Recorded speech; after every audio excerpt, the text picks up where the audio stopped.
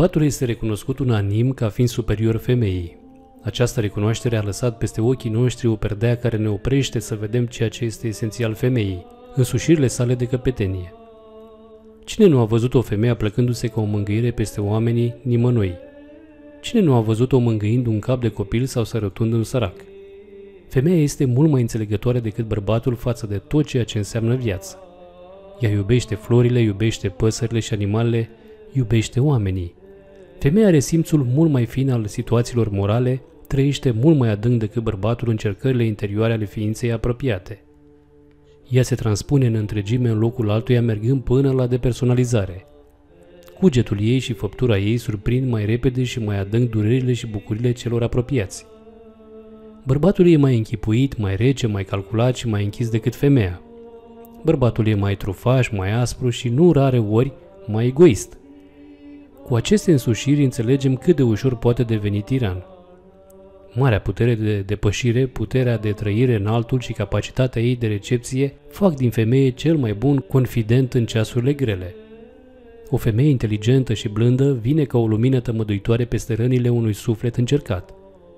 Femeia este o făptură mai fragedă, mai delicată și mai simțitoare decât bărbatul. Aici stă superioritatea ei.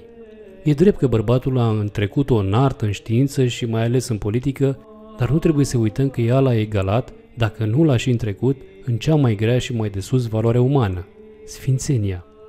Pentru a fi înțeleasă, femeia trebuie văzută în expresiunile caracteristice ale naturii sale. Femeia sportivă, militar sau inginer, tot atâtea echipuri întoarse ale firii. Armonia cosmică le refuză. Supusă unui destin al pasiunii, ea este legată de tot ceea ce îi îmbogăzește zilele. De la cele mai însemnate până la cele mai gratuite lucruri, toate o interesează, o cheamă, o farmecă. Dorința puternică și continuă împrospătată de a-și îmbogăți viața și totodată nevoia de dăruire dezinteresată fac din femeie o ființă în permanentă vibrație și îndemn. Femeia însuflețește totul, învăluie lucrurile cu cântec și caută fără încetare firele ascunsele țesăturii vieții. Secretul său aici stă, în legătura permanentă cu izvoarele vieții. Fiindcă încă netulburată de erorile intelectualismului, ea are mai adânc simțul just al fiecărei situații sau lucru, are mai sigură intenția lucrurilor neschimbătoare. Cum altfel s-ar explica plinătatea și focul rugăciunilor sale – cum s-ar explica plânsul luminat de razele bucuriei ce străbat adesea chipul? Orice ar face, femeia nu se joacă. Ea vede în profunzime, suferă și se bucură plin. Femeia cunoaște adevăratele flori nemuritoare ale vieții. Buzele ei deosebesc aromele de uscăciune. De aceea pasul îi este atât de sigur atunci când e vorba să pornească pe drumul rodniciilor sale – Femeia, femeia adevărată, nu trebuie căutată în uzină sau cazarmă, ci în biserică, în cămin și în pajiști.